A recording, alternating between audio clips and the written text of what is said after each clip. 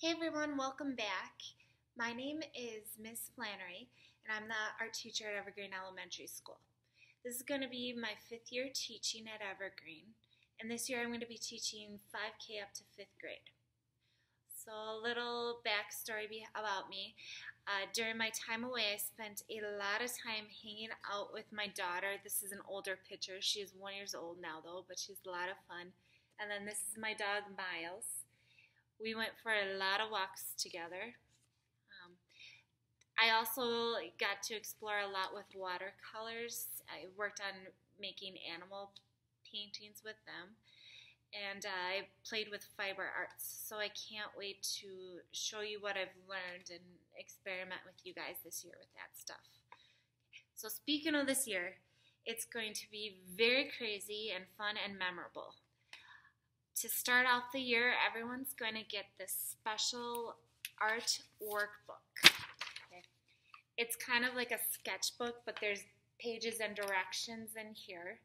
Don't worry, we're going to go through it together throughout the first trimester. Um, and then there might be some overlap, but this is our first trimester port, uh, art workbook. Okay. And then eventually in the next couple weeks, after you prove that you are ready for this amazing, awesome art portfolio. You're going to get this, and inside of it's going to be a bunch of fancy art paper that we're going to use for our big art projects. Um, so with this art portfolio or folder where all your work will be stored, you're going to keep it in your home classroom. And if possible, if you know you're going to be away from school for a while, you're going to bring it home with you so that we're all on the same page with materials and stuff. Okay. We're going to start off the school year with projects that will fit into the folder.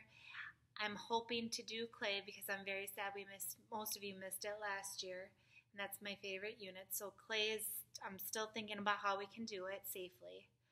Um, so we're going to start out small so that everything can fit in our folders. And hopefully as the year goes on and things get safer, we'll be able to come back. It's, art's going to be on a cart to begin with, and then hopefully eventually we'll be back into our classrooms. Okay. So I will be providing weekly updates on my website.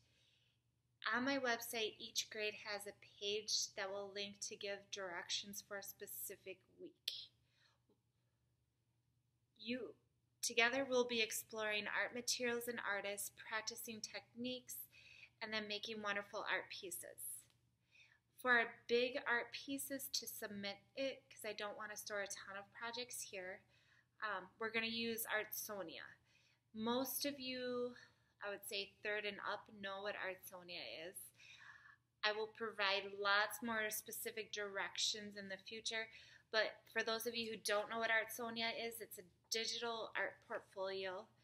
We've used it in the past. It's a nice way to have pictures of all your projects that you've made throughout the years so that when you're old like me, you can look back at it. Um, so, for virtual lessons, I'm going to be posting it on this website. I will be updating it weekly. So if you miss a week, you can come on here and watch and see what you've been doing. If we go virtual, I'll put more directions on this website. During the hybrid model, where you guys are here two days of the week, I will be able to see you once a week during our time apart, I may give you some art homework or some research or videos to watch or brainstorming, depending on where we are at the projects, or you might be taking pictures and upload using Artsonia during that time. If you desire you want to do more art projects, my website has a ton of different resources, um, safe links. A lot of you guys used Art Hub too to draw little pictures if there's some picture you want to draw. Um, and there's a ton of different challenges that you can work on if you want that extra art time. But for sure, check in with your grade level page every week. Um, please feel free to email or call me if you have any questions. I'll be posting office hours on Wednesday during the hybrid week. Come back to this website for any updates on that. Um, otherwise, I should be able, I'm pretty good. At, I like to think I'm pretty good at getting back with email questions within 24 hours. I'm super happy to be back. I hope you had a wonderful, relaxing summer, and I can't wait to see what kind of creativity you guys bring this year. Talk to you soon. Bye.